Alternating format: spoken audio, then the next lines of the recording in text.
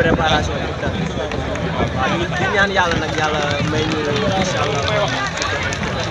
ok merci. non xawoon na difficile tuuti nag.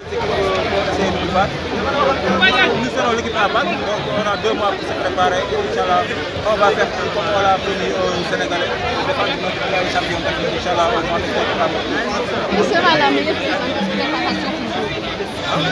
la meilleure préparation vu de la meilleure préparation, c'est d'avoir des sparring partenaires, d'avoir des matchs amicaux. Donc, euh, je pense que la fédération va travailler sur ça. Euh, si, on a, si, on aura beaucoup de matchs amicaux, comme je le dis, euh, on, pourra faire la différence, C'est la seule motivation,